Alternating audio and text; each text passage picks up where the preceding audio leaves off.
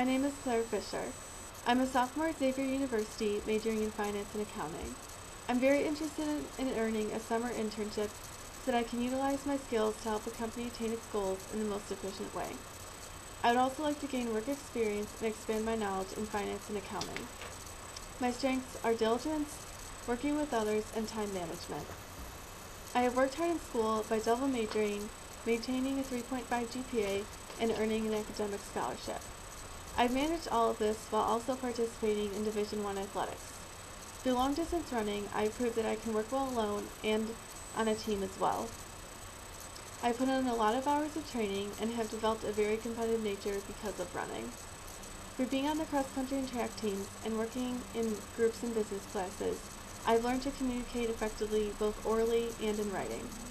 My business classes have allowed me to become familiar with Excel and PowerPoint as well.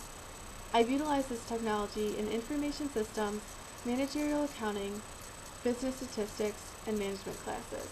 It has helped me to present data in a well-organized manner. I'm excited about the opportunity to learn more about finance and accounting and gain a perspective on what a career in either of these areas entails.